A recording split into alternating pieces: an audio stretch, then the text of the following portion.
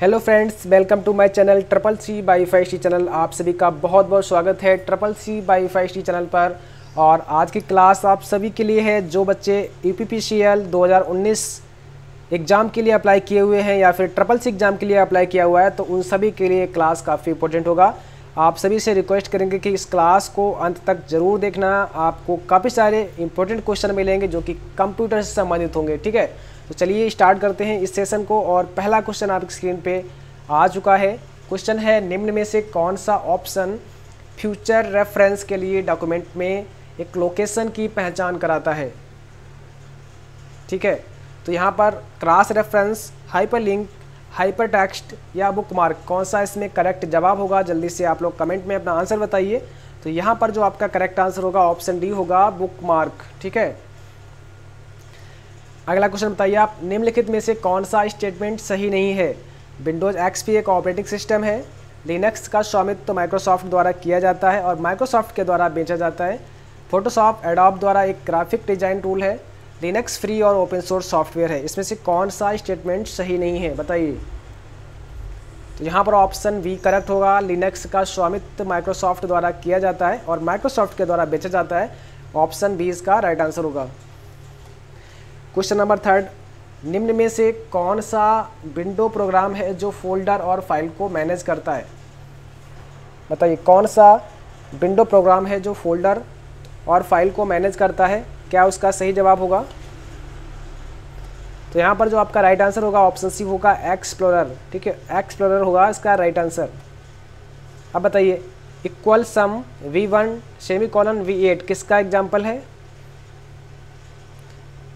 Question number four का answer बताइए, क्या होगा इसका सही जवाब? तो यहाँ पर ऑप्शन सी हो जाएगा फार्मूला।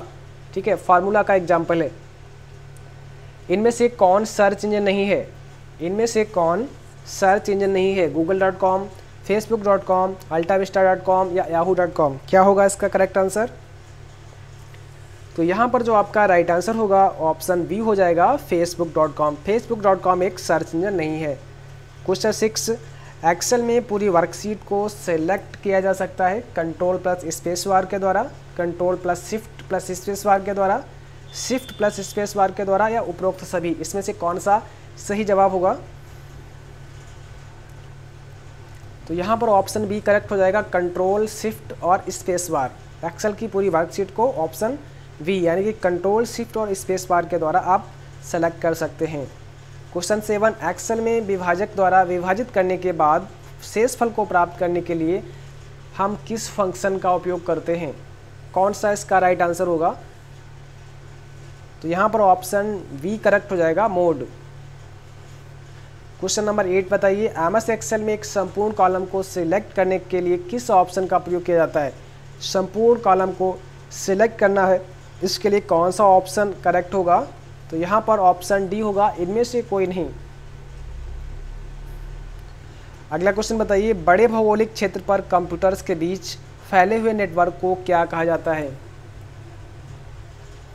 ऑप्शन दिया गया लेन पब्लिक नेटवर्क वैन या इनमें से कोई नहीं। तो यहाँ पर जो करेक्ट आंसर होगा ऑप्शन सी होगा वैन अगला क्वेश्चन है, निम्नलिखित में से कौन सा ऑप्शन आपकी प्रेजेंटेशन की एक प्रिंटेड कॉपी प्रोवाइड करता है? यहाँ पर आपका ऑप्शन सी करेक्ट हो जाएगा ऑडियंस हैंडआउट अगला क्वेश्चन है, आप डैश टैब से शॉर्ट चुनकर शॉर्ट कमांड खोल सकते हैं। ठीक है व्यू फार्मूला इंसर्ट डाटा क्या होगा इसका राइट आंसर ऑप्शन डी हो जाएगा इसका correct answer data question twelve presentation से बाहर आने के लिए क्या करना होता है? एप्लीकेशन मिनिमाइज बटन पर क्लिक करना. डॉक्यूमेंट क्लोज बटन पर क्लिक करना, एप्लीकेशन कंट्रोल मेनू आइकन पर डबल क्लिक करना या कीबोर्ड से इसके बटन दबाना। तो यहाँ पर जो करेक्ट आंसर होगा, ऑप्शन डी हो जाएगा, कीबोर्ड से इसके बटन दबाना। अगला क्वेश्चन है, निम्न व्यू में से आप केवल स्लाइड और उसके कंटेंट को दिखाने के लिए किस ऑप्शन का प्रयोग करेंगे?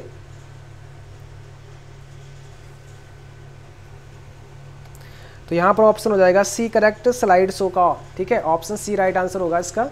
अगला क्वेश्चन है, वह भाषा जिसे कंप्यूटर समझता और प्रोग्राम को एग्जीक्यूट करता है. कौन सी भाषा है? Machine language application software system program उपरोक्त सभी.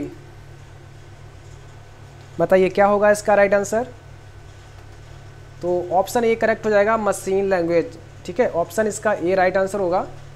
क्वेश्चन नंबर 15 आपके पास एक पावर पॉइंट शो है. जो आपके द्वारा बनाया गया है और किसी अन्य को ईमेल द्वारा उसे भेजना चाहते हैं तो आप अपने ईमेल मैसेज में पावर पॉइंट शो को किस तरह से जोड़ सकते हैं?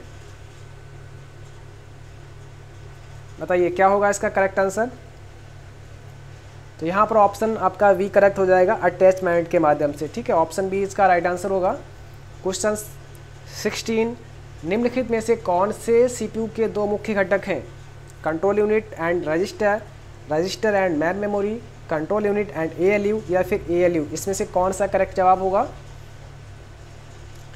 तो ऑप्शन सी इसका राइट आंसर होगा, control unit and ALU question number 17 किसी डॉक्यूमेंट पर लागू बैकग्राउंड कलर और इफ़ेक्ट किस प्रकार के व्यू में दिखाई नहीं देते हैं? तो क्या होगा इसका correct answer web layout view print layout view reading view या आउटलाइन व्यू तो यहाँ पर ऑप्शन आपका वी करेक्ट हो जाएगा प्रिंट लेआउट व्यू ठीक है? अगला क्वेश्चन बताइए। वर्डर्स को अप्लाई कर सकते हैं। सेल्स पैराग्राफ टेक्स्ट या उपरोक्त सभी। तो वर्डर्स को अप्लाई कर सकते हैं, उपरोक्त सभी। ऑप्शन नंबर डी इसका करेक्ट आंसर होगा, ठीक है?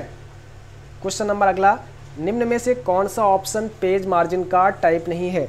कौन सा ऑप्शन पेज मार्जिन का टाइप नहीं है? लेफ़्ट राइट सेंटर या टॉप? इसमें से कौन सा आपका करेक्ट जवाब होगा? जल्दी से कमेंट बॉक्स में जवाब बताइए। ऑप्शन सी करेक्ट हो जाएगा सेंटर क्वेश्चन अगला वर्ड 2003 के डॉक्यूमेंट में डिफ़ॉल्ट लेफ़्ट मार्जिन कितना होता है? तो यहाँ पर जो आपका राइट आंसर होगा ऑप्शन बी होगा 1.25 इंच ओके अगला क्वेश्चन बताइए। Wireless local area network phone lines अथवा फाइबर ऑप्टिक्स का प्रयोग करते हैं। क्वेश्चन क्या होगा? ट्रू होगा या फॉल्स होगा? तो ये क्वेश्चन आपका फॉल्स हो जाएगा। चलिए, अगला क्वेश्चन बताइए। जैसे आप प्रिंटिंग से पहले एक वर्कशीट का प्रिंट प्रिव्यू देख सकते हैं, ऐसा चार्ट के साथ कर पाना संभव है। ट्रू है या फॉल्स है? क्या होगा इसका करेक्ट आंसर तो ऑप्शन ए इसका राइट आंसर हो जाएगा। ये क्वेश्चन आपका हो जाएगा ट्रू वर्कबुक की प्रत्येक सीट का अलग अलग हेडर और फुटर संभव है। वर्कबुक की प्रत्येक सीट का अलग अलग हेडर और फुटर संभव है। अब बताइए 23 का क्या जवाब होगा? तो यहाँ पर ऑप्शन ए करेक्ट हो जाएगा। ये क्वेश्चन आपका ट्रू हो जाएगा। चलिए नेक्स्ट क्वेश्चन बताइए। चालू खाते का प्रयोग निवेश या बचत के उद्देश्य के लिए किया जाता है। तो इसका क्या राइट आंसर होगा? ये ऑप्शन करेक्ट होगा या ऑप्शन बी करेक्ट होगा? क्या होगा इसका सही जवाब बताइए। तो यहाँ पर ऑप्शन बी हो जाएगा, ये क्वेश्चन हो जाएगा फॉल्स अगला क्वेश्चन बताइए इंटरनेट व्यावसायिक रूप से प्रयोग की जाने वाली सूचना की सुविधा है? ऑप्शन ए होगा या फिर ऑप्शन बी करेक्ट होगा? तो यहाँ पर ऑप्शन ए करेक्ट होगा। ये क्वेश्चन आपका ट्रू होगा। ट्वेंटी सेवन का आंसर बताइए एक्सेल में दो वर्कशीट को एक साथ खोला जा सकता है। एक्सेल में दो वर्कशीट को एक साथ खोला जा सकता है। क्या ये ट्रू होगा या फॉल्स होगा? तो ये क्वेश्चन आपका ट्रू हो जाएगा। Question twenty eight sheet A one semicolon C one एक गलत रेंज है। ट्रू है या फॉल्स है? क्या एक गलत रेंज है या नहीं है? तो ये क्वेश्चन फॉल्स हो जाएगा। ऑप्शन बी इसका राइट आंसर होगा। 29 वाइड एरिया नेटवर्क दो या दो से अधिक लोकल एरिया नेटवर्क को जोड़ता है। क्वेश्चन ट्रू होगा या फॉल्स होगा बताइए। वाइड एरिया नेटवर्क दो या दो से अधिक लोकल एरिया नेटवर्क को जोड़ता है। तो ये क्वेश्चन आपका ऑप्शन ए होगा। यहाँ पर ऑप्शन ए हो जाएगा, यानी कि क्वेश्चन आपका ट्रू हो जाएगा। चलिए नेक्स्ट क्वेश्चन बताइए। कोई सुव्यवस्थित डाटा सूचना कहलाता है?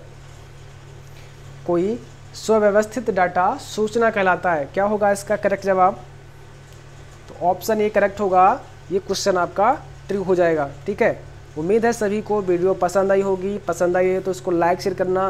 बिल्कुल मत भूलिएगा। और आप हमारे टेलीग्राम ग्रुप को ज्वाइन कर सकते हैं, जिसमें कई सारे आपको क्लासेज की पीडीएफ प्रोवाइड कराई जाती हैं। तो उस टेलीग्राम ग्रुप को आप ज़रूर ज्वाइन कर लेना। उसका लिंक आपको नीचे डिस्क्रिप्शन बॉक्स में मिल जाएगा, जहाँ से आप टेलीग्राम ग्रुप को ज्वाइन कर सकते हैं। Okay, thanks.